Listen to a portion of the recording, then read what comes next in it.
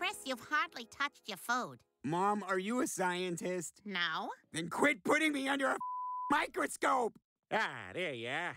Boy, does it feel good to walk into the right house. Hey, Dad, are you a scientist? Don't answer, Peter. Oh, by the way, don't make plans for Sunday. We're taking Stewie to the Children's Museum. Can't go, Lois. I got tickets to a meaningless April baseball game. Now, who wants to come with me and be as cold as you've ever been in your whole life? I do! Awesome. We're going to have a great time, like flies on dog poop.